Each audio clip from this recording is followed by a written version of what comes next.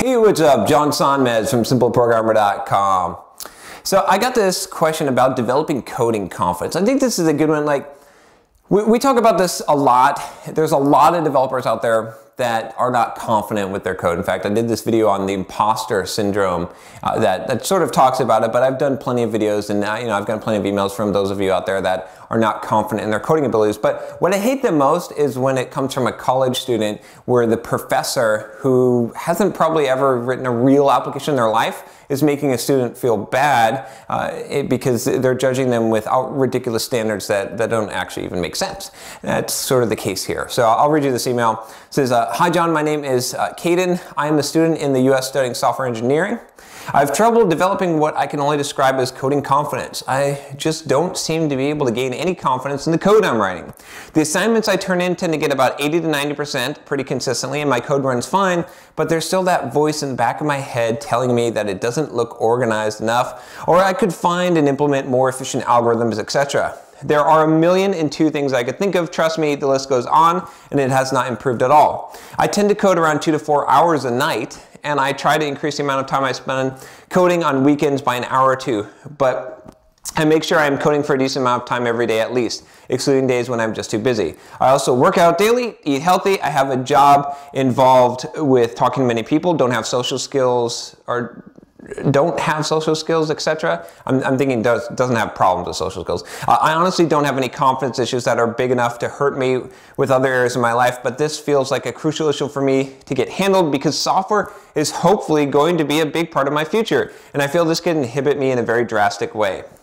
So Canon also sent me a code sample and I looked at it and Canon, it looks great. I mean, you can't really do better than that. Uh, here's the, my, I will give you a critique on it, is that someone's told you to put in pre and post conditions and comments above every single function. So, I mean, you've, you've, from the scientific standpoint of the academic standpoint of writing good code, you have done it, my friend. But re realize that and again, I'm not saying don't do what your professor is asking for. You got to get the grade. But realize that in the real world, you've already, you, you have gone beyond what is necessary. And, and, and, and realize what attributes are important to focus on. So the most important thing is that you solve the problem and that you write code that is readable and understandable and maintainable. So don't focus on all these technical aspects. Don't worry about putting all these comments in the code. In fact, I am actually against putting comments in, in code. I'll, I'll do a video on that perhaps. I've definitely done a blog post on why you shouldn't comment your code. You can read that for sure. And I think I might even have a video on that. But anyway, the, the point is not to say that you shouldn't you know, necessarily ever comment your code. It's that your comments should not be stating obvious things. In fact, the way that you name your methods and variables, those should be indicating this, the, the functionality of the code. That's going to make it more readable and more clear. There, I'm going to give you two good books that are really going to help you with your coding confidence. Uh, and, again, you're, you're already at a superior level, right? I'm looking, at your, I'm looking at your code and I can tell you you're doing a good job. Most of you that are concerned about your code that like this at this level you are already doing fine. Don't worry about it. And it's going to come with experience. But I do want to give you two books that change the way that I code and really gave me more coding confidence. One of them here is Code Complete, second edition by Steve McConnell. And great guy. I've actually emailed him back and forth a few times. Awesome book. Just awesome book. It talks about software construction, the construction of code, naming variables, all these things. Uh, and then another book from uh, Bob Martin, uh, Uncle Bob. This uh, book is Code, uh, code sorry, Clean Code. I said Code Complete already, but Clean Code. Uh, also, really good book and really talks about how to create good code, how to write good code. Has exercises and you can look through there.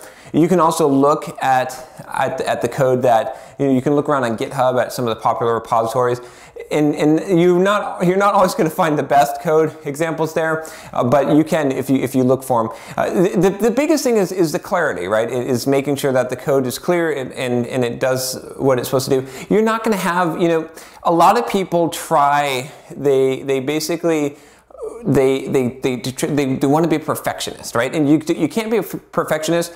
You know, gr great is, the, or what is it? Is it's, it's great is the enemy of good.